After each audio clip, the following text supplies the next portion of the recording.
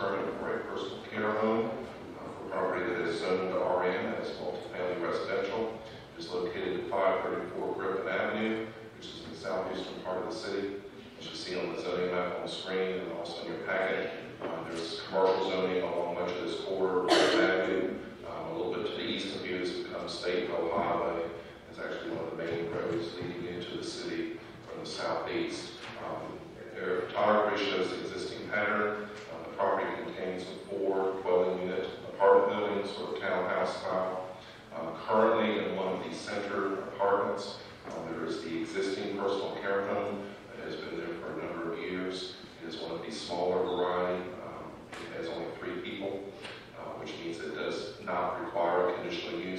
that size.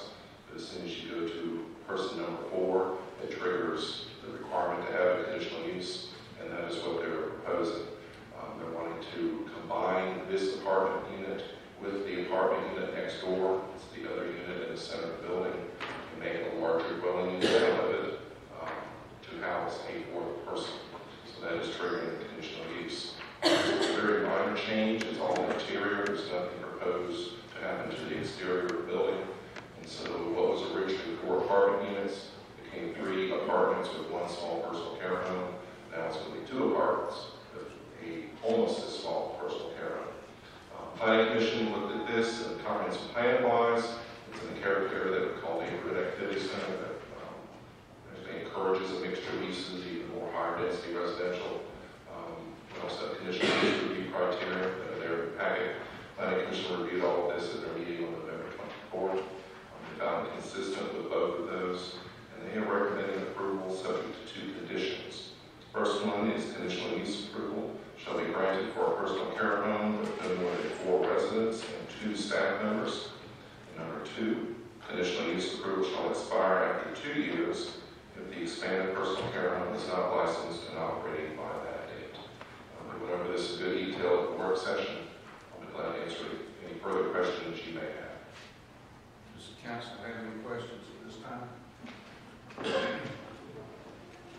All right, ladies and gentlemen, this is a public hearing item, so at this time, is anyone in the audience who would like to speak in favor of this request? Anyone who would like to speak in favor of this request? Come forward and state your name, please.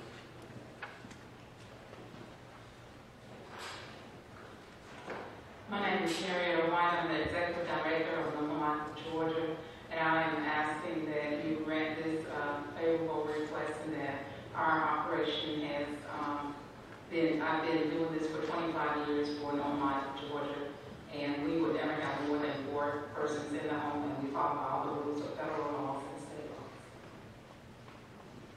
Okay? Is that it? That's it. Thank you,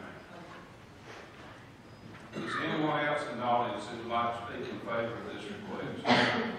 Anyone else who would like to speak in favor of this request? Seeing none, is there anyone who would like to speak in opposition to this request?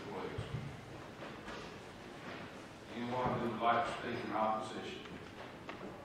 Seeing none, council, I'll turn it over to you, Badger. Well, I make a motion that we grant the request. Motion to the second. I'm sorry. And presented, understand. Okay. Motion and a second. Uh, is there any discussion? Any discussion? All right, all in favor, please signify by raising your right hand. All opposed, the same sign. Motion carries unanimously.